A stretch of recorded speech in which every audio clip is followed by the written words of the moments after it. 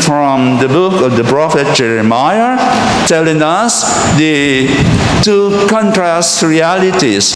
One, those who trust in human beings are stupid, and those who trust in the Lord are blessed. A reading from the book of the prophet Jeremiah.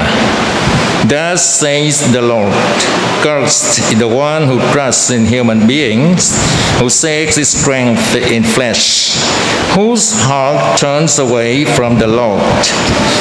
He is like a barren bush in the desert that enjoys no change of season, but stands the labor waste, a sown and empty earth.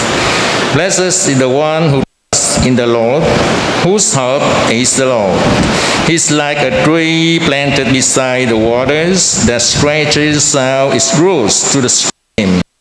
It fears not the heat when it comes, its leaves stay green. In the year of drought, it shows no distress, but still bears fruit. The work of the Lord. Thanks be to God.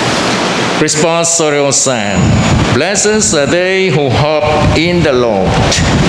Blessed are they who hope in the Lord. Blessed is the man who follows not the counsel of the wicked, nor walks in the way of sinners, nor sits in the company of the insolent, but delights in the law of the Lord, and meditates on his law day and night.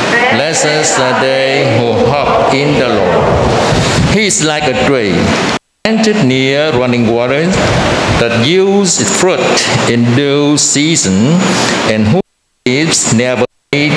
Whatever it does prospers. Blessed are they who hope in the Lord.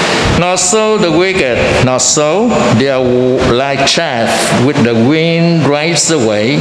For the Lord watches over the way of the just, but the way of the wicked vanishes.